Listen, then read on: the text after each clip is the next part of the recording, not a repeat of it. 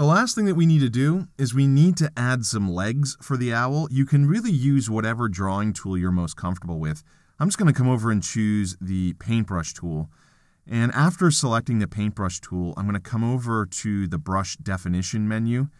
And if we take a look at this, you can see that we have an option of 5 point round and then we have 15 point round.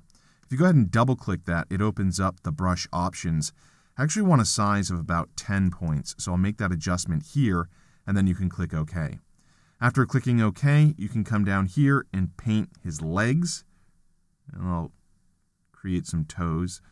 And after creating that, you should be all set. You may want to duplicate it, so I'll come over and highlight the selection tool, click it, and then hold down the Alt or Option key and duplicate it over here to the right. And now you have your complete goofy owl cartoon. So obviously this wasn't about creating a cartoon character.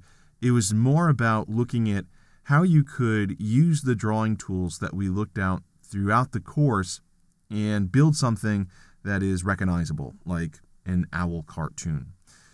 If you want to further your Illustrator education and knowledge, I would suggest checking out our other Illustrator title called Paths, Type, and Color, where we review in greater detail how to manipulate paths and combine shapes.